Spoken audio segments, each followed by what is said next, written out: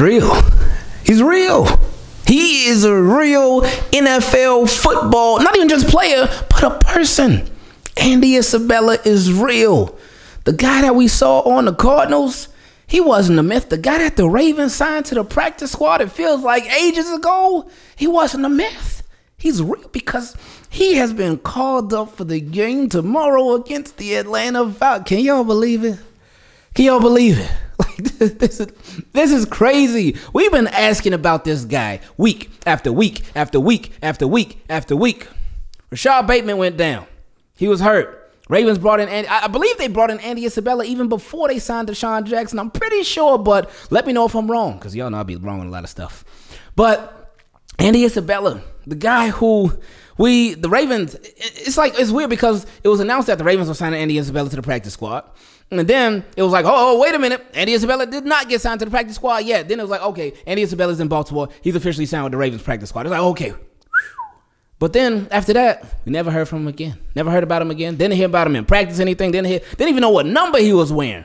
Don't even know what number he's wearing. I guess we'll find out tomorrow, but he is real. This is this is crazy.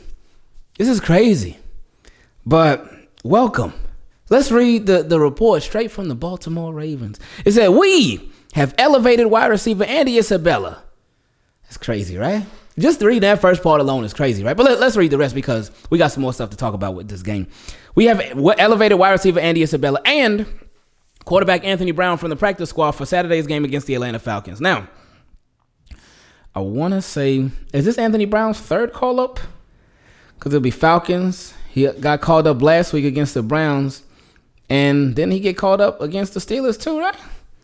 So yeah, this I think this will be his third call up since he's on the practice squad. So for Anthony Brown, if this is his third call up, y'all let me know if I'm wrong. But if this is his third call up, then the Ravens would either have to put him on the active roster or they would need to release him from the practice squad. And then he would have to clear waivers. Nobody else would sign him. Would and then they could sign him back to the practice squad again. And that's if they wanted to keep him around. So you got two options. So because again, when you call up somebody from the practice squad three times, if you want to keep them around, you either put them on the roster or they go back to the practice squad. So we'll see what happens with that. Now, it's funny um, because Devin Duvernay, we know Devin Duvernay, um, he was used as a kick returner, as a wide receiver, as a jet sweep king, and he lost his crown for a little bit early on this season. He lost his crown. Duvernay was like, I don't want to be no jet sweep king. I'm relinquishing my crown. Give it to somebody else. But then Greg Roman ended up giving him his crown back. He was like, "No, you you gonna be running them jet sweeps, buddy. You think you think you're getting away from the jet sweeps? Oh no, buddy, you running them jet sweeps." So he got his crown back. He went from the uh, prince, then he went back to the king again. So with him being out, you need someone. When a, when a king dies, you need somebody to take the king's place. Andy Isabella, you have been chosen, my friend.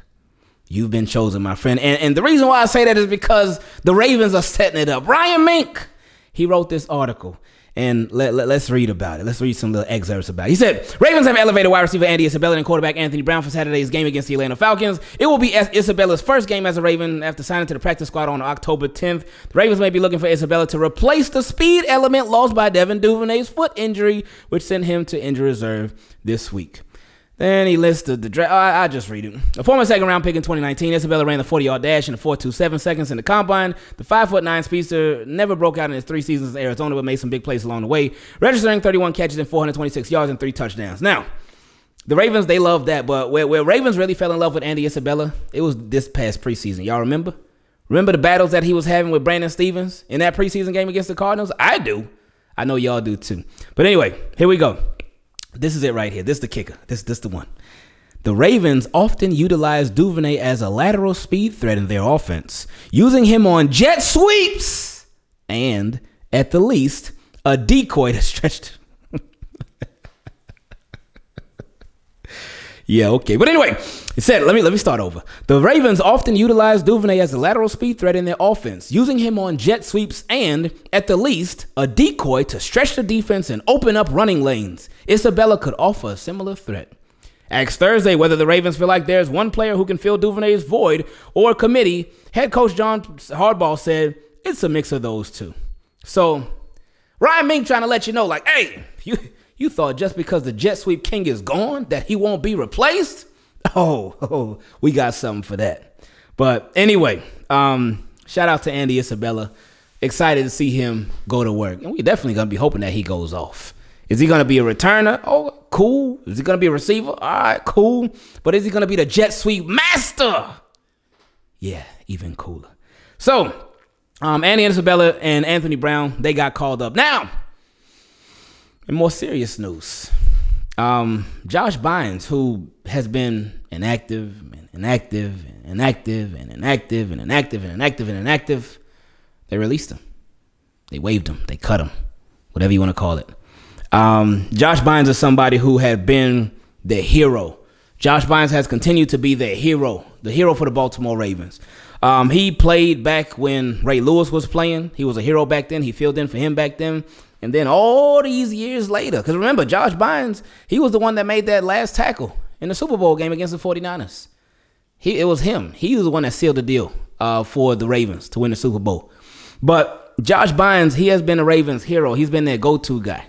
Um, back in 2019, when they had uh, Peanut, uh, Patrick Onwuasor, they had Kenny Young.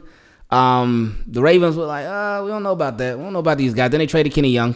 Um, then they end up signing Josh Bynes and LJ Fort, and they held it down. Um, then Josh Bynes, he came back again uh, when they things were a little shaky with Patrick Queen. I think the year at what was it, 2021, and then they signed him again in 2022. So they they just keep bringing Josh Bynes back over and over. But now, um, really, ever since Roquan Smith, ever since Roquan Smith, Josh Bynes been inactive a lot, and I think I want to say actually maybe right before Roquan Smith. I think he was inactive in that Tampa Bay game. And the Tampa Bay game was before Ravens got Roquan Smith. I'm pretty sure. But y'all again, like always, like I keep saying, let me know if I'm wrong. But anyway, they um they waived Josh Bynes because he they weren't using him at all anymore, like for nothing. Uh, but they uh, added they signed Isaiah Mack to the 53 man roster. Isaiah Mack, I believe, was on the practice squad, and what he is going to be doing is filling that role for Calais Campbell, uh, who is out for we don't know how long, but we'll see. Uh, because Calais Campbell, him being out is a big blow. Uh, because with Calais Campbell, it's like he doesn't make many flashy plays, but he can make some special plays. Obviously, the field goal block, well, that was a flashy play and a special play.